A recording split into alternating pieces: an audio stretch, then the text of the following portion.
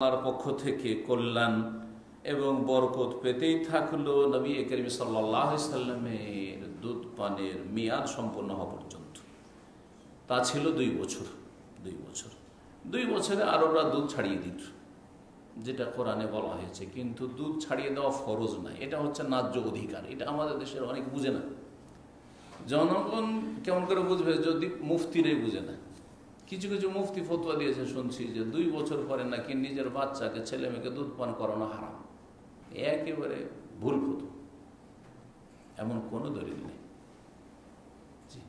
নিজের ছেলে তো দূরের কথা, পরের ছেলেকে যে সালে মাওলা হোজাইফার যে ঘটনা আছে, সেটা তো বড় ছেলেকে দুধ পান করে তো রসুল্লাহ সাল্লাম বলেছেন। দুই বছর পরে দুধ পান করানো যদি হারাম হবে, তো নিজের বাচ্চাকে হারাম, আর পরেরটাই খাওয়ানো যাবে?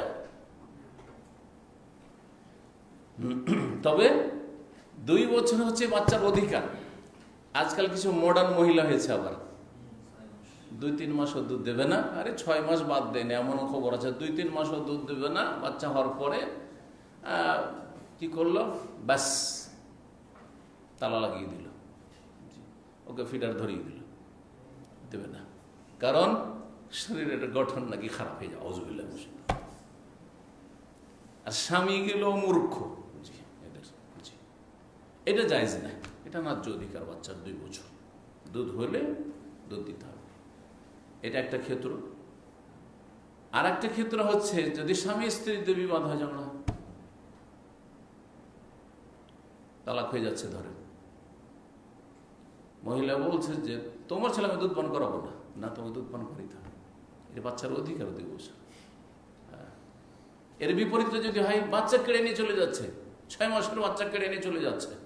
না কেড়ে নিয়ে যাওয়ার অধিকার নেই। দুধ পান ওর মায়ের দুধ পান করার এই বাচ্চার অধিকার রয়েছে।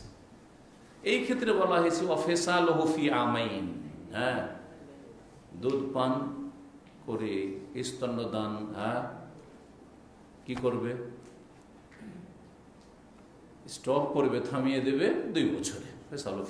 হামলহু অন্য আয়াত রয়েছে, গর্ভধারণ আর স্তন্য দানের সময়কাল হচ্ছে তিরিশ মাস। দুটো মিলিয়ে তিরিশ মাস।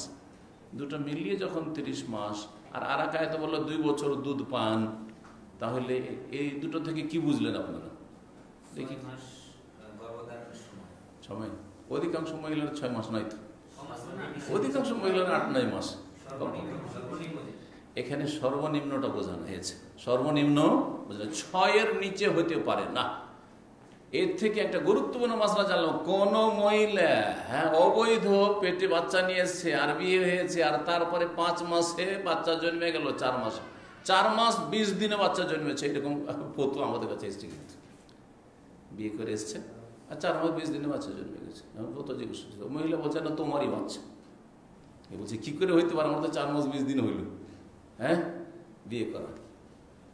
এই ক্ষেত্রে কি বলবেন? ছয় মাসের নিচে যদি হয় তাহলে এই হালাল সন্তান বা এর সন্তান নয় এর নয় কমপক্ষে ছয় মাস হইতে হবে। যাই হোক, নবী করিম সাল্লাহ সাল্লাম দুই বছর দুধ পান করলেন। আর এই দুই দুই বছরই দৌড়াদৌড়ি, ছোটাছুটি মাশাল্লাহ এই দুধ পান করি আর গ্রাম অঞ্চল থেকে শরীর মাশাল্লাহ খুব হৃষ্টপুষ্ট হলেন, বড় শক্তিশালী হলেন। তারপরে এই যে দুই বছর থাকলেন, একটা থাকলেন না। মাঝে মধ্যে নিয়ম ছিল যে মাঝে মধ্যে আপন মায়ের কাছে নিয়ে আসতে হবে।